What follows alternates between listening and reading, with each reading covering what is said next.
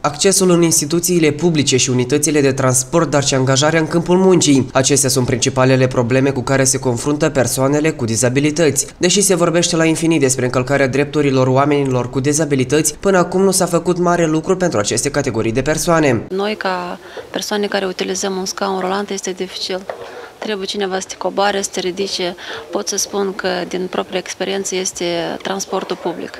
Adică atunci când merg la universitate sunt nevoită să merg la stație de trolebuse, să rog două persoane să te ridice, să te coboare, adică este, este o problemă foarte mare. Куда бы ты ни зашел, чтобы ты мог заехать сам. На сегодняшний день в Кишиневе это очень сложно. Fiecare administrator al clădirilor ar trebui să, să, să eu știu, soluționeze această întrebare pentru că legislația prevede ca fiecare, nu știu, infrastructură, adică clădiri, alt sediu, trebuie să aibă căi de acces. Potrivit oficialilor de la Ministerul Muncii și Protecției Sociale, pensia de invaliditate ajunge în medie la peste 600 de lei. Avem alocații pentru cei care nu au întrunit condițiile de pensionare, care la fel diferă de la 100 de lei până la 300 și ceva de lei.